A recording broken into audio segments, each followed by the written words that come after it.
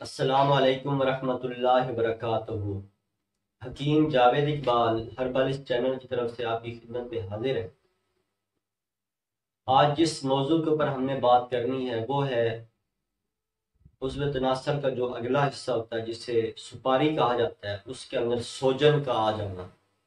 ये आज का हमारा टॉपिक है, हमारा मौजू है। तो ये इसके इसबाब इसकी इलामत, इसका इलाज और इसमें परहेज जो है वो मैं आपके सामने गोश गुजार करूँगा। तो सबसे पहले दुरुद पाक नबी मेहरबान हज़रत मोहम्मद मुस्तफ़ा सल्लल्लाहु अलैहि वसल्लम पे मैं भी पढ़ता हूँ, आप भी पढ़ेंगे। अल्लाहुम्मा सल्ली अला मुहम्मदिन अब्दिका व रसूलिका, व सल्ली अला जमीइल मोमिनीन वल मोमिनात वल मुस्लिमीन वल मुस्लिमात। जैसा कि मैंने इसका मौजू आपके सामने गोश गुजार किया है कि सुपारी की सोजन यानी उजव तनासर का जो अगला हिस्सा होता है, इसमें सोजन और वर्म का आ जाना तो इसके कई इसबाब होते हैं। इसमें बुनियादी जो सबब होता है, वो गर्म और खुश्क गज़ाओं के ज़्यादा इस्तेमाल है। या ऐसी गंदी किसी ऐसी टॉयलेट के अंदर, जहाँ पे ये सफ़ाई का सही प्रॉपर इंतज़ाम ना वहाँ पे पेशाब वगैरह का करना और वहाँ से छींटों का तनासर को लग जाना। या कई लोग बिल्कुल सफ़ाई का ख्याल नहीं करते हैं गंदे मंदे रहते हैं। नहाते नहीं है तो उसकी वजह से भी ये मसला जो है सुपारी के अंदर सोजन हो सकती है।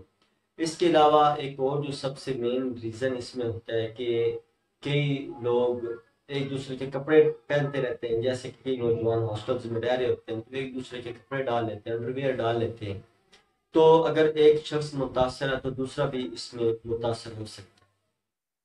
तो इसके अलावा इसका एक और जो मेन सबब है, वो है सोजाक। सोजाक के बारे में मेरी वीडियोस भी मौजूद है। यानी सोजाक एक ऐसा हठेला मर्द होता है, जो कि एक दफ़ा पैदा हो जाए तो ये बहुत दो के बाद ये मर्ज का अजाला होता है। इसके अंदर सोजाक के अंदर मैंने वो काफ़ी उसमें भी, उस वीडियोस के अंदर काफ़ी डिटेल के साथ मैंने बात समझाई हुई है।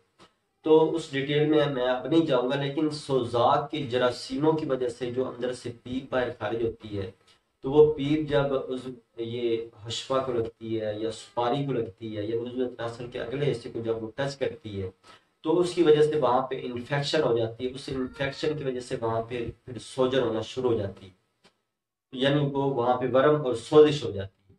तो इसकी इलामत क्या होती हैं इसकी इलामत के अंदर ये है कि उजव तनासर का जो अगला हिस्सा जिसे हशफा कहा जाता है, जिसे सुपारी कहा जाता है, उसमें वर्म और सोजिश हो जाती है। जैसे यानी कि नॉर्मल कंडीशन के अंदर वो एक मतलूबा अपनी कैफियत में उसकी जो जिसामत है, उसी के अंदर मौजूद होती है। लेकिन जो ही वहाँ पे वो वर्म होता है, सोजिश होती है या इन्फेक्शन होती है तो वो सुपारी जो खून की काफ़ी बड़ी हो जाती है। तो इसका इलाज जान लेते हैं कि इसके इलाज के अंदर कौन सी ऐसी हम अद्वियात का इस्तेमाल करें या कौन सी हम ऐसी गज़ाओं का इस्तेमाल करें जिसकी वजह से ये मर्ज का अजाला हो जाए।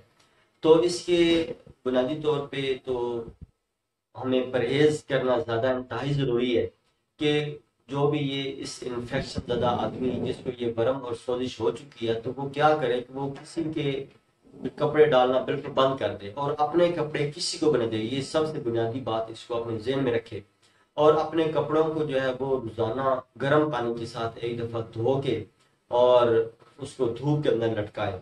और डेली रूटीन में अपने दिन में बल्कि दो मरतबा अपने कपड़े तब्दील करें, ताकि जितनी वो गर्म और सोजिश की वजह से जो इन्फेक्शन की वजह से जो अंदर स्पीड वगैरह अगर आ रही है तो वो ताकि अगर आपके कपड़ों को लगती है, ताकि वो दूसरे दिन अगर आप नए कपड़े डालते हैं, ताकि वो इन्फेक्शन ज़्यादा कपड़े आप सबको दोबारा टच ना करें। ये तो सबसे बुनियादी बात है। और इसके अलावा जो इसमें आपने एक बुनियादी चीज़ का ख्याल करना है, कि आपने साबुन वगैरह इस्तेमाल करना, यानी आम जो खुशबूदार साबन जो होते हैं, वो इस्तेमाल करना छोड़ दें। बल्कि आप ऐसा करें कि जो जिनके अंदर खुशबू वगैरह नहीं होती, जिनके अंदर, यानी कार्बालिक एसिड टाइप जिनके अंदर ये मौजूद होता है, वो वाला साबुन आप इस्तेमाल करें। या नीम सोप, यानी नीम का साबुन जो, वो बने बनाए मार्केट के अंदर मिल जाते हैं। वो नीम का साबुन आप इस्तेमाल करें तो वो ज़्यादा बेहतर रिज़ल्ट आपको देगा। तो इसके अलावा आपने एक काम और करना है कि आपने ये नीम के पत्ते लेने हैं। नीम के पत्ते कम अज कम पाउडर और नीम के पत्ते हों। तो उनको आपने क्या करना है? उनको ऐसा ऐसा थोड़ा सा कूट लेना है। यानी मोटा मोटा आप उनको कूट लें।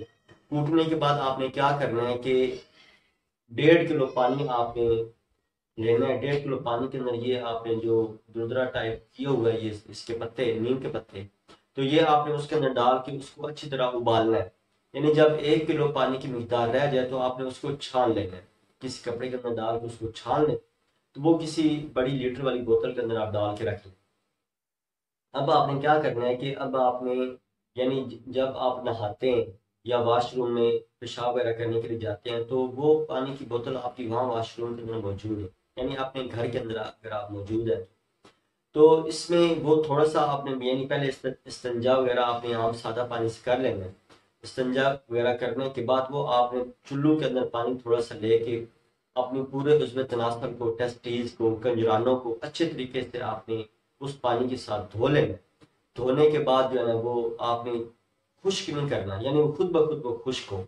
यानी वो आपने बिल्कुल सुपारी को आगे पीछे उसके अंदर बाद मैल बन जाती है सुपारी के दरमियानी हिस्से के अंदर।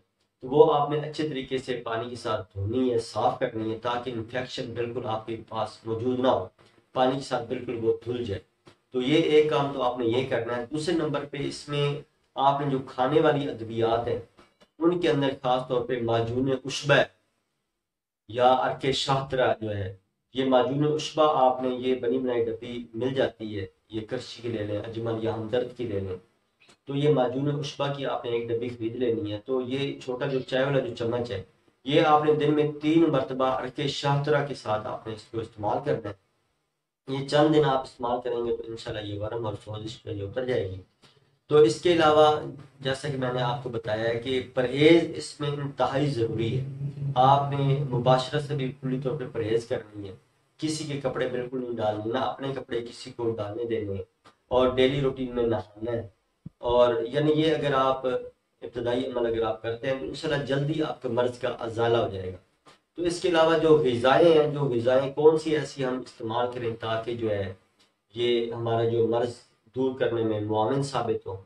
तो उनमें आपने जितनी गर्म और महर्रक गज़ाएँ जिनमें ये गोश्त जितने भी हैं, वो आप चंद दिनों के लिए छोड़ दें। ये तली हुई चीज़ें पकौड़े समोसे या ऐसी फास्ट फ़ूड वगैरह कोला ड्रिंक्स वगैरह, ये आप मुकम्मल तौर पर छोड़ दें। जितनी गर्म सब्ज़ियाँ जिनमें खास तौर पर बैंगन है या और इस तरह की जो गर्म सब्ज़ियाँ वो आप छोड़ दें। यानी सादा कद्दू, टिंडे, तोरी वगैरह, इस तरह की जो सब्ज़ियाँ जो है, वो आप इस्तेमाल करें तो जल्दी आपको फ़ायदा हो जाएगा। तो मेरी आखिर में आपसे एक गुजारिश भी है कि आप मेरी वीडियोस को बकायदा माशाल्लाह सुनते भी हैं और देखते भी हैं। तो मेरी वीडियोस को बकायदा आप लाइक भी किया करें और अच्छे कमेंट्स भी दिया करें। और माशाल्लाह लोग मुझे अच्छे कमेंट्स भी करते हैं कि माशाल्लाह आप हकीम साहब बहुत आप अच्छा काम कर रहे हैं, लोगों की रहनुमाई करते हैं। तो मज़ीद मेरी एक गुजारिश आपसे ये है कि आप मेरी वीडियोस को आगे भी शेयर करें, ताकि दूसरे लोग भी इससे फ़ायदा उठा सकें। अल्लाह ताला मेरा और आपका हामी नासर हो। अस्सलाम वरहमल रहमतुल्लाहि व बरकातहू